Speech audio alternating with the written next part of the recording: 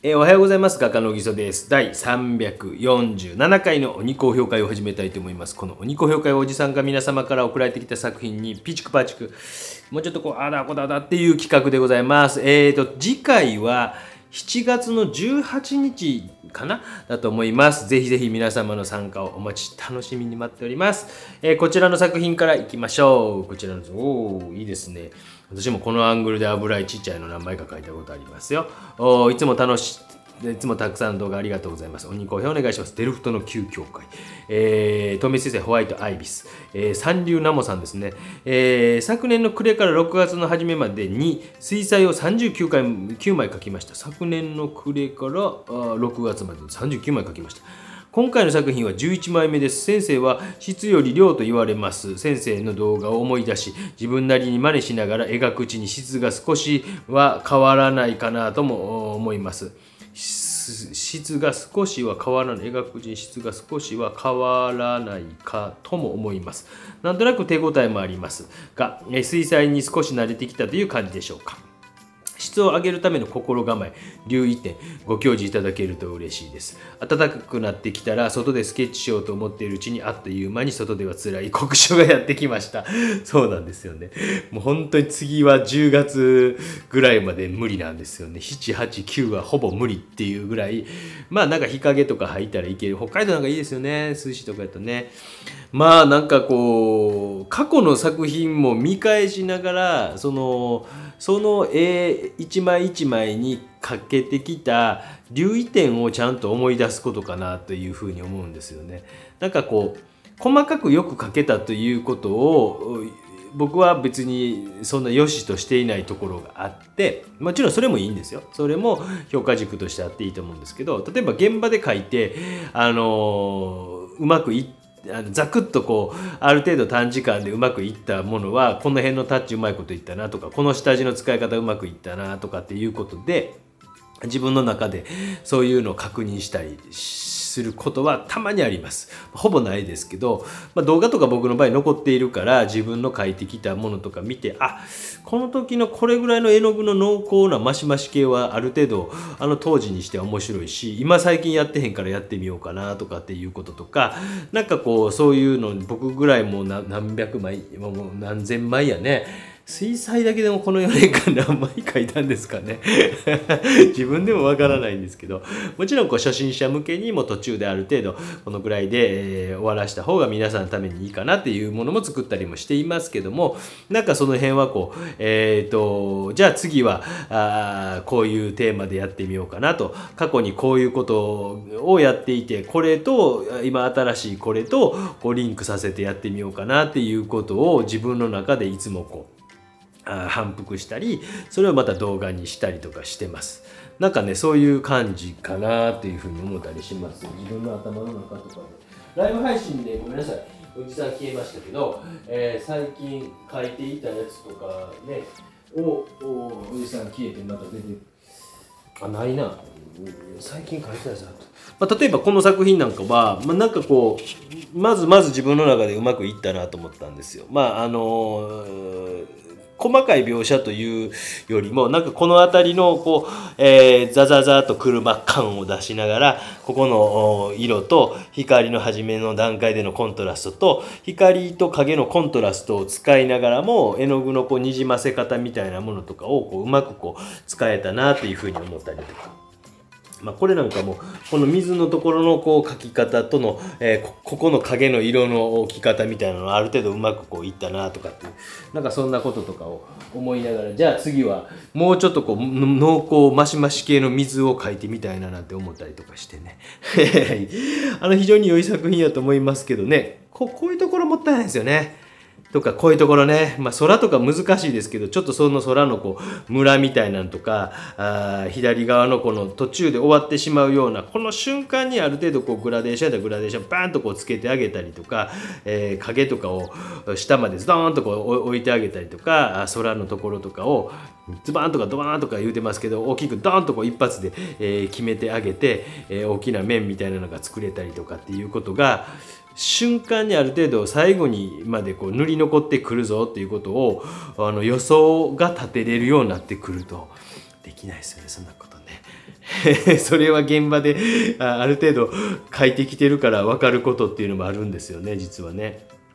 まあ、現場でこうあんだけの時間の短い時間の中で3時間で3時間で書く中で、えー、ある程度の段階で途中でも突然雨降ってきても終われるぞとか風で吹っ飛んでてても終われるぞっていうのはある程度脳みそのシミュレーションの中でしているんですね。これがなんか特殊能力者のね、まあ、うまく言えば特殊能力者、えーえー、変な方で言えばもうやばい人間ということなんですけどあこういうところとかっていうところまで気を使って初めの段階からあここのところは脇役やけどもかっこよくうまく終われるっていうようにもしもちろん時間があれば書き込めばいいんですけど土地の段階でも終われるというような先ほどのこう、えー、っとポルトガルの電車ねなんかはなんとなくそんなことをイメージしてたんです。だから、ね、書き出し何分ぐらいかな。あのぐらいで勝負あったっていう感じになるんですよ実は。あの絵に関してはそういうのをすごいテーマにしておりましたはい、すみません、えー、いい感じです。この、まあ、本当にもう上手やなっていう感じがしますので、次の作品こちらでございます。おい、かわいいね。うちのチビとかチャリンコとか全然乗りたがらんのですよね。虫取りばっかり。前シャンさん、ウォーターフォード F45 透明水星。熱くなり、絵を描く意欲も低下する中、なんといっても最強のモチーフは孫ちゃんたち。いいですね。家に飾って楽しみたく、もう一度トライしたいと思いますので、よろしくお願いします。もう頑張ってトライしまくってくださいよ。もうほんとね。孫ちゃんたち。ちょっとピンク強すぎたかな。どうなんでしょうか。少しこう、えー、こちらのお嬢ちゃんの方かな？のピンク色。少しこうピンク色がもうちょっとこう赤みがかっている方の色の選択をしてあげてもよかったのかな。ほんの少し置く分にはいいと思うんですけどあまりにも全部がピンクピンクしてしまったりすると若干ねなんかちょっと怖くなって見えてきますので少しこう、えー、このピンク色みたいなのを抑えてあげてもよかったかなと。で背景にちょんちょんちょんとこう置いていたりとかするようなこの枯葉みたいな緑色こういうのうまいこと使って顔の方とかにも持ってきてあげたりとかすると顔が少し、えー、もうちょっと明るくやな顔を外側から少しこう明るく描いてあげるあの顔を、えー、外側から少しこう明るく描いてあげるみたいなあことにつながってくるんですね。で外側っていうのをからうまいこと、えー、使ってあげたりとかできるとピピピピピピピピピうんピピピピピピピピピ少しこうあ暗い色をもうこのもうギリギリのところまで持ってきてねそうすると、えー、このね女の子の方がちょっとちょっと赤みがこれでもマシになったんじゃないですかどうですかね人物難しいでしょね人物難しいですよね影のここのとこに入ってる青なんかはねこうほっぺたの方までほんの少しだけでも入ってきていいかなとそんな入りすぎると多分皆さん難しいと思うので少しこう入ってきたりとかして何色がいいかな？なんかなかなかうまい色の選択ができんな。ちゃうな。もうちょっとこのぐらいかな。ね、人の肌のところで使う色とかって難しいですよね。皆さんね。この下の色とかね、えー、そのこうまだピンクっぽさがね 抜けへんな。おむずいな。お私をこれだけ困らせるとは。なかなかじゃないですか。ピンク色は紅のところとかピンク色とかでもほっぺたとかね、えー、はいいかなっていうふうに思うんですけどちょっとあまりにもこう全部に大きすぎるとまあうちのチビなんかもえらい日焼け最近しておりますからまあなんかそんな感じなんかもしれませんけど夏のねもう少しこの辺もなんかちょっと拭き取れるなら拭き取りたいですよね。少しねお嬢ちゃんの方をね少しこうまだピンクっぽさ残ってますけどいかがですか？そうするとこう後ろのコートの、まあ、前後関係を目指している絵じゃないかもしれないですけども、えー、前後関係みたいなのもちょっとこう見えてきたりとかしますしビュービュービュー前後関係みたいなとかね、うん、よいしょ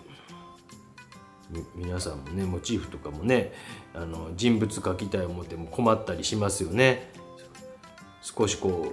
う後ろでこう描いたこの黄色いなんかものを使ってこのえー、男の子の方かな？分からんけど男とか女とか言うとあかん時代なんですかね？もうめんどくさい時代になってきましたけど、えー、どうなんか知りませんが、えー、少し外側からこう形をこう決めてあげる。どうですか？にしてもまだピンク強いね。なんかににしても強いね、えどうしたらやろ。おじさんがこんなに困るとは。ちょっと茶系かな。このぐらいかな。思い切っていかんといかんかな。もう少しだけすみません。やらせてください。最後のね。あちょっと違うな。あどのぐらいかな。このぐらいかな。このぐらいかな、このぐらいかなああ、違うな。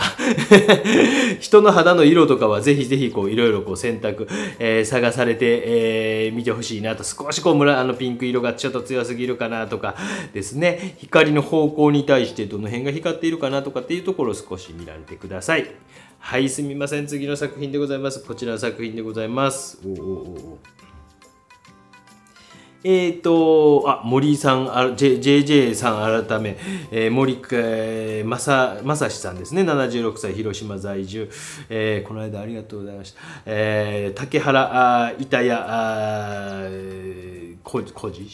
えー、庄司、えー、ロジ、えー、ウォーターフォードホワイト 65300g 中目ホールベイン透明水彩、えー、先週末4月から参加している黒木同好会恒例日帰りスケッチ旅行で広島県竹原市へ行ってきました。竹原も小京都を標榜していて日課ウイスキー創業者で朝の連続ドラママッサンの聖火竹地区酒造のある町です。あ日課ウイスキーって広島なんですか、えー、以前よりあれ？小樽ではないんですけど、小樽は日課じゃないっけ？あれ何やったっけ？え、以前より先生に屋外射精を勧められていたのですが、やっと叶いました。あ、外で書いたんですか？中学校の写生大会以来です、えー、多くの人は単彩のペンが小サイズを数枚書くようでした。様子が分からず言っていますので、えー、現場で仕上がらず自宅で筆を加えました。手前の道は細かったのですがあ狭かったのですが広くなりすぎここが問題です。手前の道は、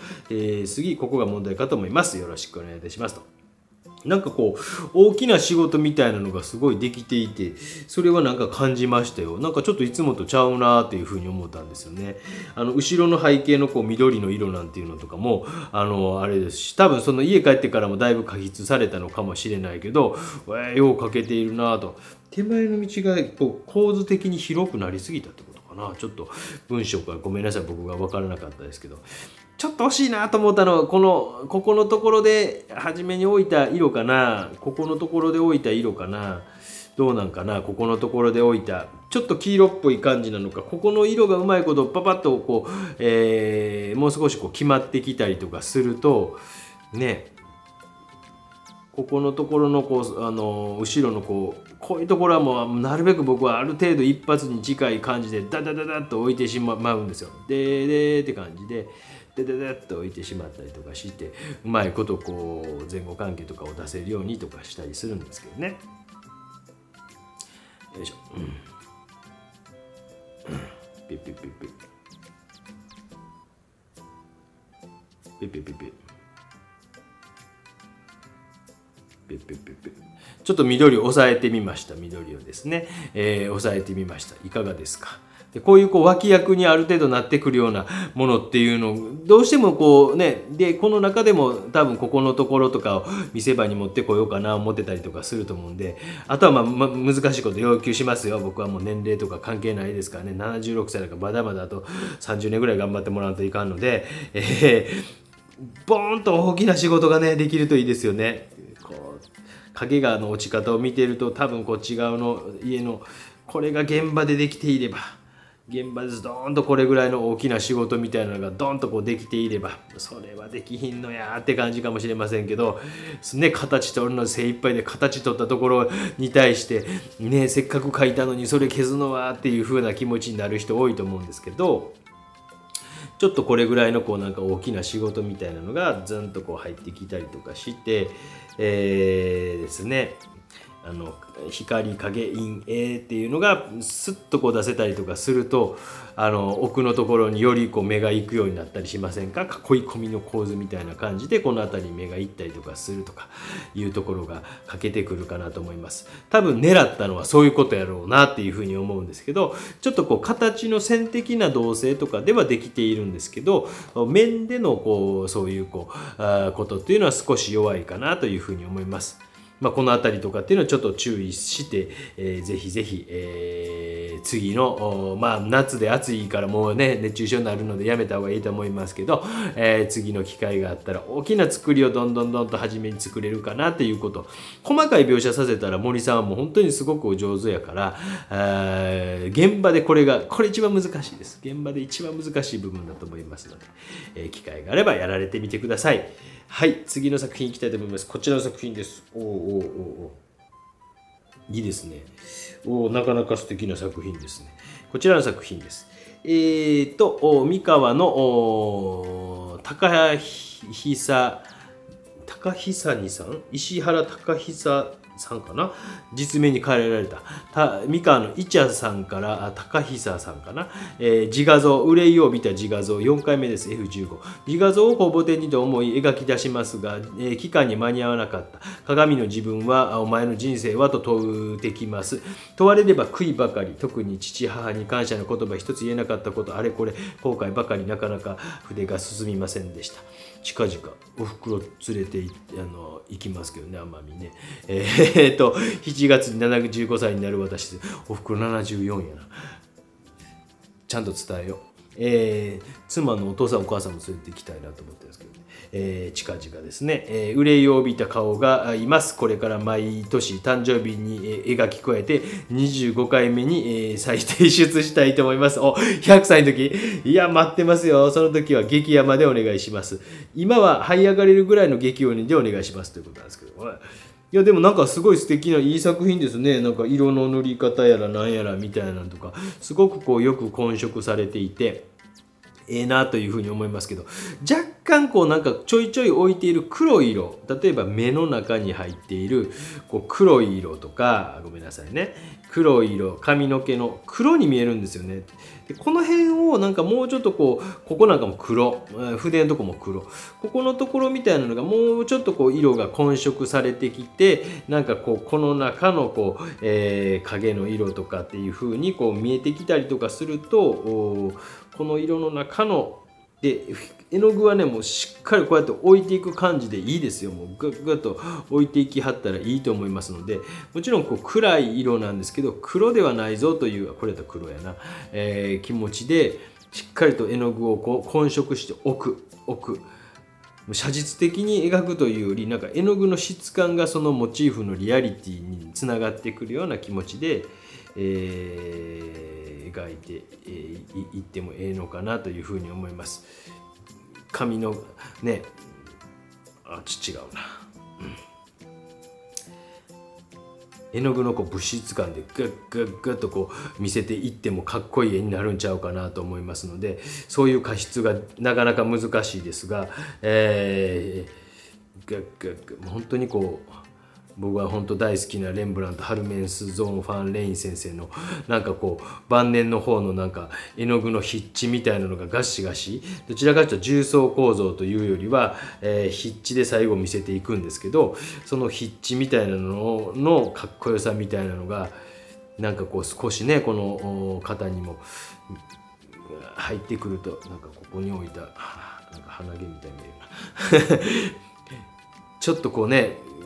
絵の具の筆致。例えば、えー、外側の輪郭から青い色かなんかをガッとこう決めてくるような筆致眼鏡のところとかにこう入ってくるような筆致とか、えー、少しこう質感をグッグッグッとこうぶつけ合いながら形も外側から内側からか、えー、ねえー、行き来しながら、えー、一手一手を決めていくような仕事みたいな感じで、描いていっても面白いんじゃないかなと思いながら、えー、ちょっと加筆していってます。うん、ガッガッガッガッガッガッガッガッガッガッガッガッガッガッいいですねでもこう25年こう向こう25年こう加湿しつちょっとこう筆のタッチを入れた状態ちょっと黒を減らして、えー、書いてみたということなんですけどなんとなく分かりますグッグッグッグ少しこう今よりももうちょっとこうヒッチタッチみたいなのが細かいこう線とかっていうことではなくて、えー、絵の具の質感みたいなのがあ少しこう塗り残ってくるみたいな感じを目指されてみてもいいのかなと。いやいや俺はそんなんじゃなくもっと細かい描写をしたいんやと思われるかもしれないですけど僕個人的にはなんか、えー、どんどんどんどん絵の具が重なってきてなんか重厚になってくるような感じを目指されていった方がなんかかっこいい絵になっていくんじゃないかなというふうに思います。まあ、私が思うにね、はい、えー、この調子で頑張ってください。また来年も待ってます。来年も出すのかな。ここでお知らせです。皆さんも鬼高評価に出してみませんか？鬼高評価に出すにはメンバーシップの会員登録というのが必要でございます。えメンバーシップは本チャンネルの方のメンバーになるというところを押していただいて、えそちらから進んでいただければと思います。で、あの iPhone とかで入ると Apple 税とかいうのかかってくるそうなんで、できたら、え1700円とかになってしまうので、えできたらあパソコン思います。1190円で。で、あとはスペシャルサポーターという私の活動でいろんなもこう機材買うたりカメラ買うたりなんかするとかっていう活動費応援したいという方は、スペシャルサポーターになっていただいてありがとうございますということでございます。で、あのメンバーシップの特典いろいろございます。一緒に旅しませんか？ということでいろんなとこね、長野行ったり、北海道行ったり、イタリアに行くかもね、みたいな話とかですね。えー、あとは懇親会私が個展などした時に飲み会ですね、そういったこともやったりしますので、よかったら、えー、メンバーになられてはどうでしょうか。そしてちょっとだけ変更点がございます。ほんの少しでございますけども、募集の日時というのは第1、第3木曜日です。で、それもコミュニティ欄のところに書いてあったり、こうね、あの、鬼高評価うんぬんかんのところにちっちゃく次はこう何日ですって書いてあります。で、メンバー限定の動画というのがあるんですけど、メンバー限定の動画とかっていうのは公募展とかに出されたりとかした人とか、公募展に出す前とか、あそういった人の作品とか、初心者でもみんなに見てもらうの恥ずかしいとかっていう、本当にメンバーの方だけ、これは本チャンネルの方で公開してますけど、メンバーの人しか見れないという動画がございます。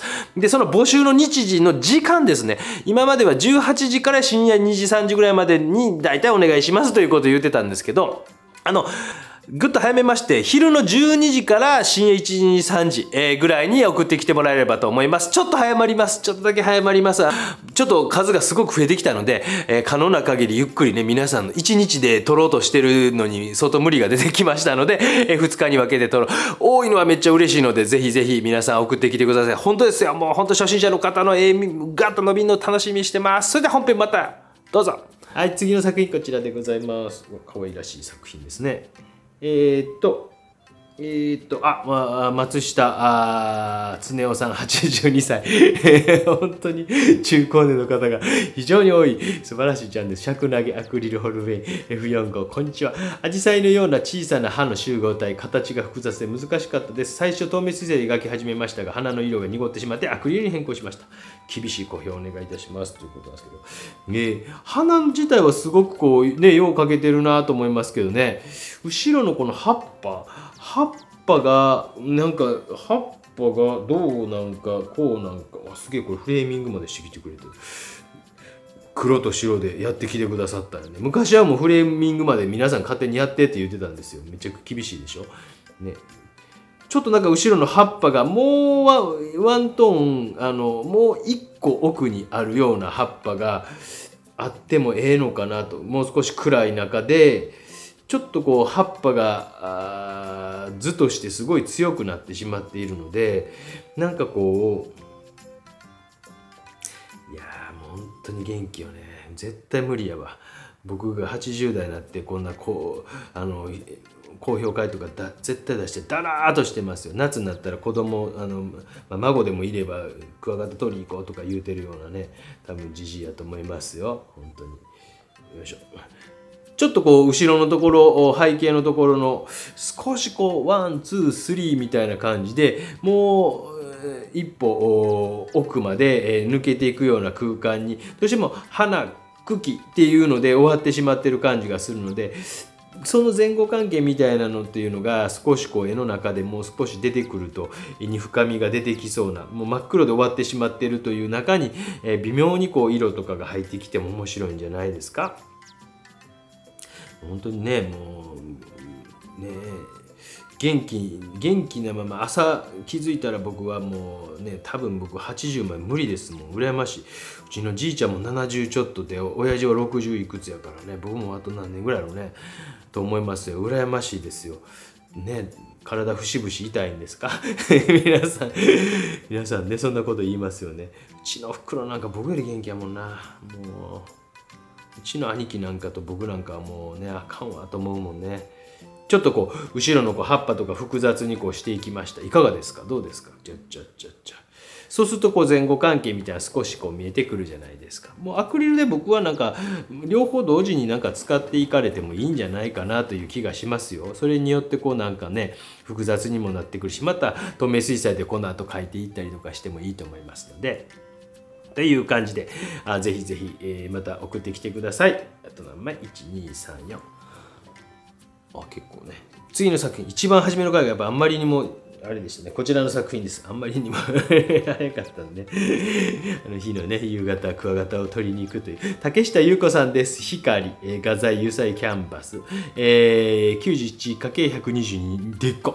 あお月様が西側低くなるにつれて、えー、大地を照らす月の光と地平線に近づく太陽の赤みがかったあ空色に惹かれ描いた一枚ですと、えー、追伸風景画の一般公募展へ2作品初出品しました。1作は入選、えー、こちらの作品は入選できなかった作品です。15回目です。今回も激鬼でお願いいたしますと、えー、1枚ね入選してこちらはあそうだったんですね。えー大きい作品なんでなんか正直言うとちょっとね小さく見えます。でもっとこうドットガーッと増やしてもよかったんかなってなんかこう着眼点は面白くてもうドット増やしまくる方が良かったのかなというようなもう私のなんか感想ですよ。激鬼でいくとしたらどの辺かななかなかもうドットをちょっと暗い色の方がええのな難しいね。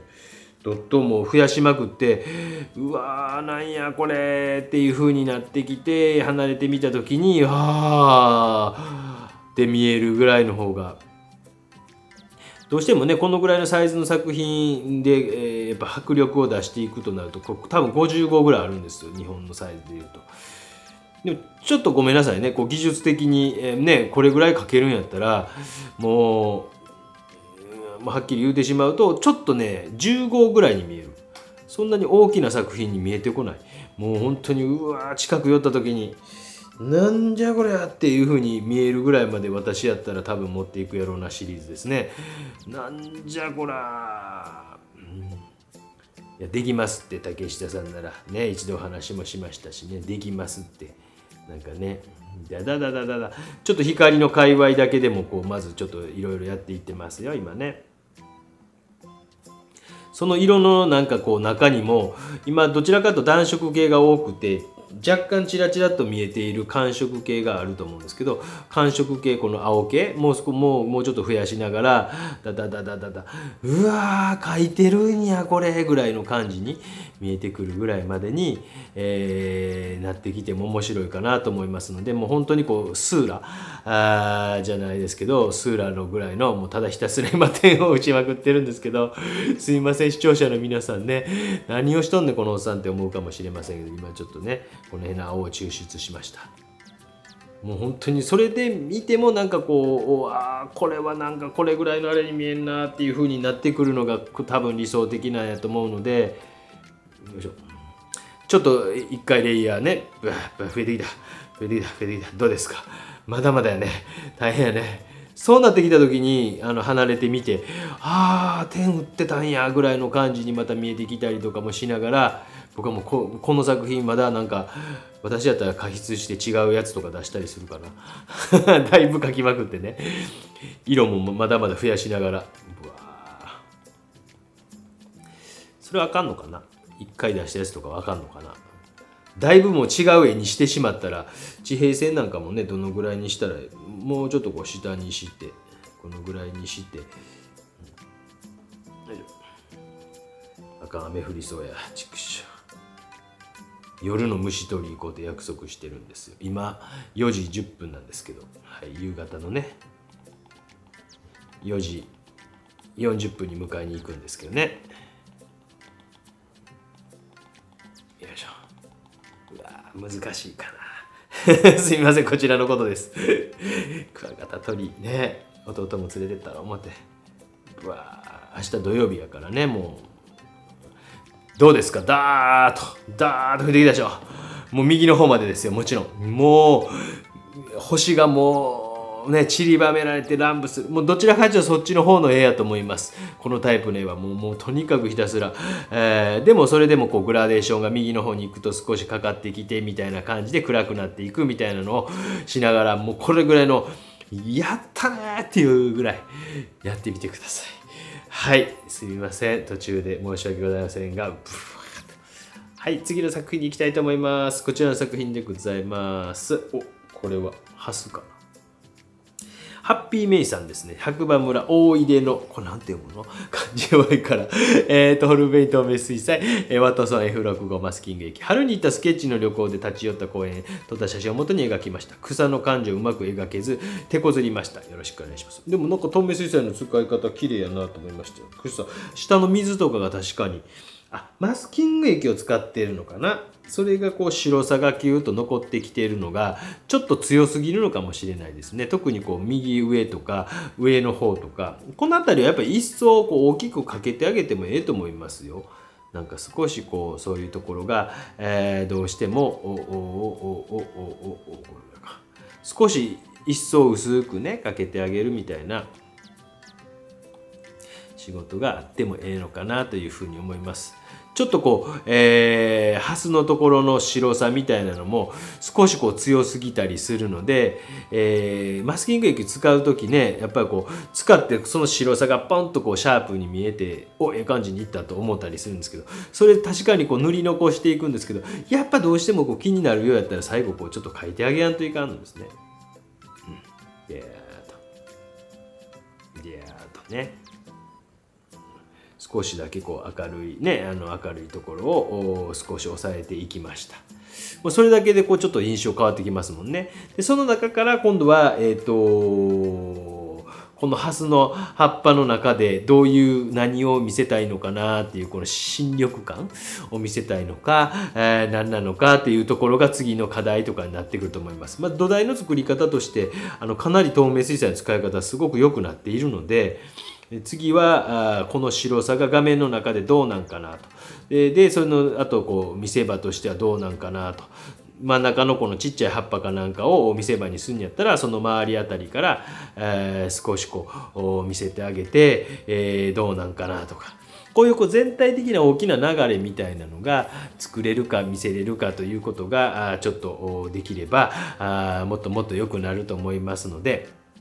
少しこう全体にぼわーっと目細めて見た時にぼわーっとどういう風に見えるのかなっていうことをこう五木ひろしのモノマネをしながらあの五木ひろしさんのモノマネをしながら、え、ねえ、どんな感じに見えるのかな。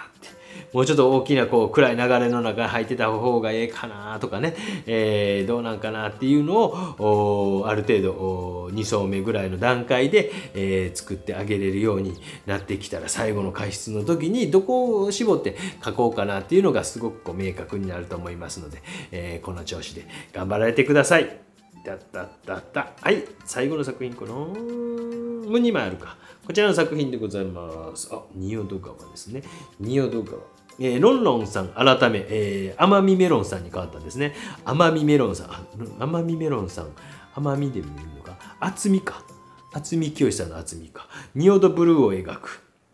えー、バオホン、えー、水彩紙バオホンでいいの水彩、透明水彩合衆。コミュニティ欄の写真と先日の動画を見て、あ、また写真皆さんになんかあげてもいいかもしれないね。えー、バオホン水彩紙は中国製のコットン水彩紙でとても強く、えー、拭き取りをやりすぎてしまいました。あよろしくお願いします。そうなんですね。拭き取りと加湿同時にやっていかんでくださいね。前なんかあげた動画で確かに拭き取りとっていうのをやりましたけど、ね、ちょっとこう拭き取りすぎてしまってるような感じは多少あるかなと。でこの中にまたこうぐぐっとこう引き締めるようなあ透明水彩の仕事みたいなのがちょっとこう入ってきたりとかして、えー、水のね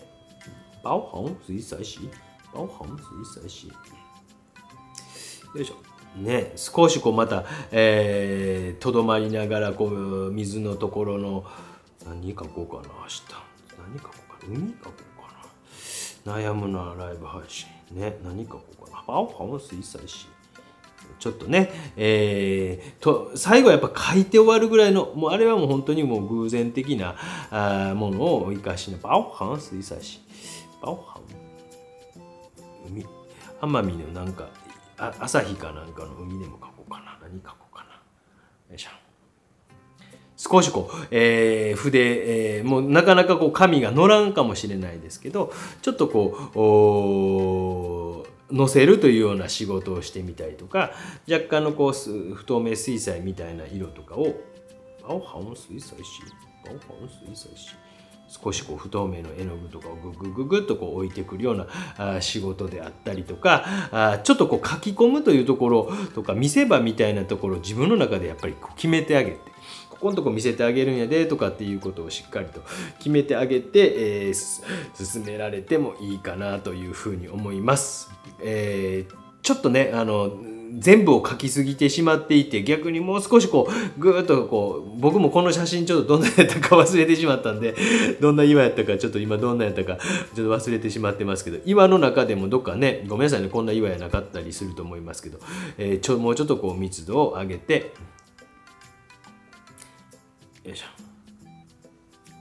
うん、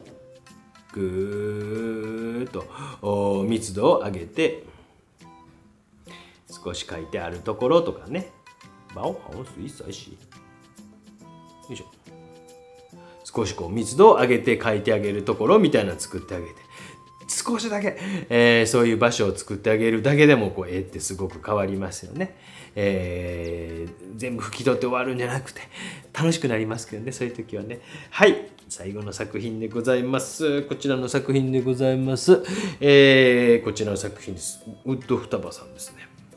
えー、こんにちはと、梅雨のないこちらはいいですね。連日30度超える、焦げるようなカラッカラ天気が続いています。梅雨本番の日本とどっちがいいでしょうか？蒸し暑さはやっぱ嫌ですよ。なんか蒸し暑さは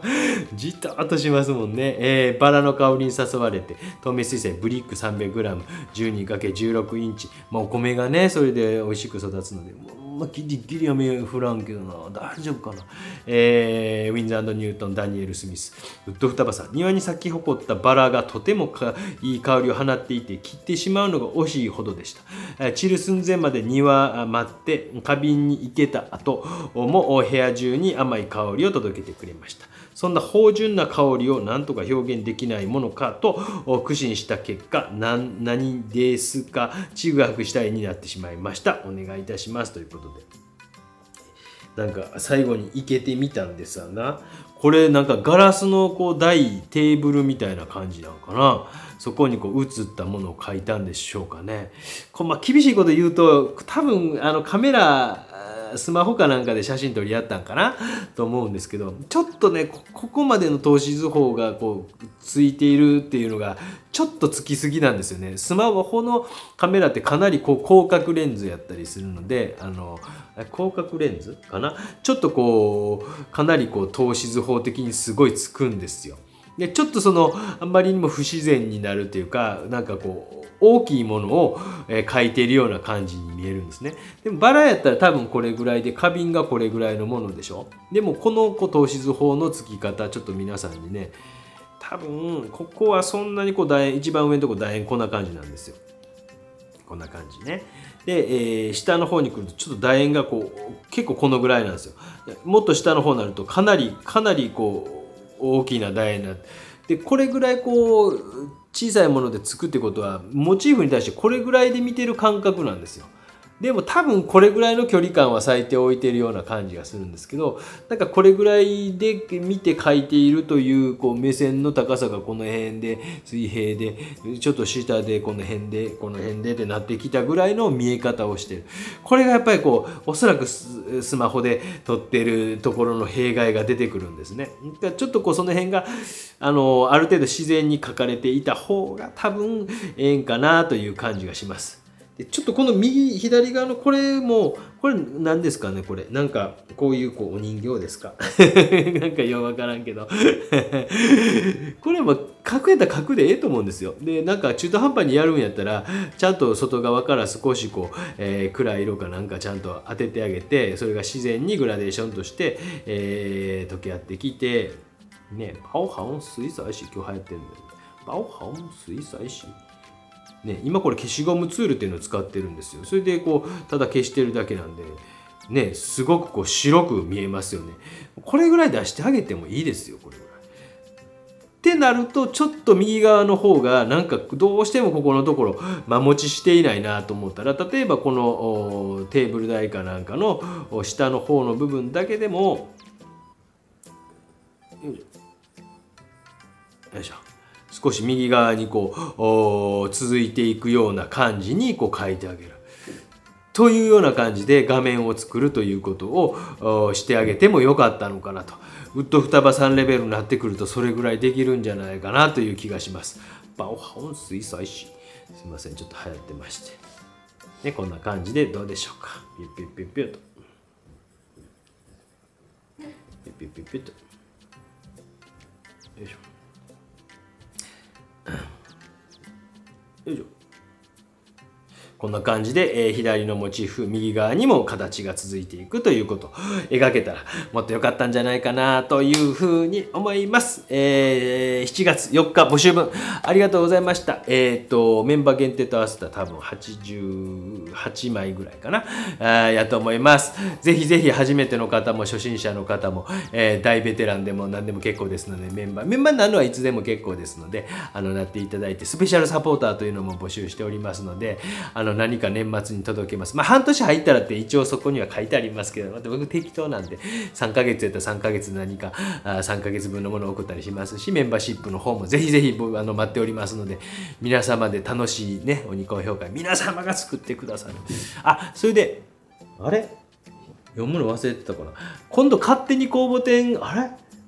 勝手に公募展いつですか？っていう質問があって、って答えたかな？あれ？えっ、ー、と、8月の31日やと思います。勝手に公募展の、えっ、ー、と、前回の、あれ、自画像やったっけ？の、一番最後のところ、最後の入賞編、入賞編の冒頭あたり、冒頭の2分ぐらいのところで多分言っていると思います。で、お題は動画の中でも言ってみますけど、生物やったっけ？